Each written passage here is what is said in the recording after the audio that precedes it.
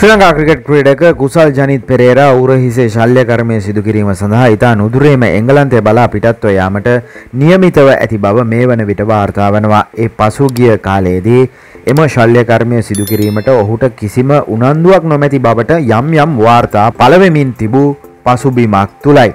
කුසල් එංගලන්තය බලා පිටත්ව යාමට අවශ්‍ය වීසා ලබා ගැනීමට අවශ්‍ය පියවර ගනිමින් සිටින බව වාර්තා වනවා.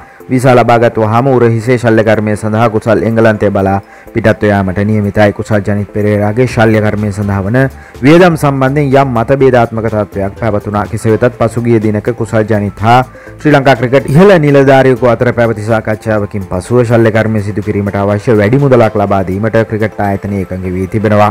ඒ අනුව එංගලන්තේ ප්‍රකට ක්‍රීඩා ශල්්‍ය වෛද්‍යවරයෙකු වන ඇන්ඩ්‍රු වෝලස් නැමති වෛද්‍යවරයෙකු කුසල් ජනිත් පෙරේරාගේ උරහිසේ ශල්්‍යකර්මය සිදු කිරීමට නියමිතයි. කෙසේතත් ක්‍රිකට් ආයතනය මෙම ශල්්‍යකර්මය කලක පටන් සිදු කරන ලෙස උපදෙස් ලබාදී තිබූ බව තමයි පසුගිය වාර්තා සඳහන් කළේ එසේ සිදු කලා නම් මෙවර විසයි විස ලෝක කුසලානය සඳහා ඔහුව අනිවාර්යෙන්ම සහභාගි කරවීමට තේරීම් සඳහා සලකා බලන්නට තිබුණා. නමුත් ලෝක කුසලානයට ඔන්න මෙන්න තියා උරහිසේ ශල්්‍ය කරමයක් සිදු කිරීමෙන් ඔහුට මෙවර ලෝක කුසලානයට සහභාගි විය හැකිද යන්න මේ වන විට ප්‍රශ්නයක් මතුවනවා. චැනල් එක සබස්ක්‍රයිබ් කරන්න.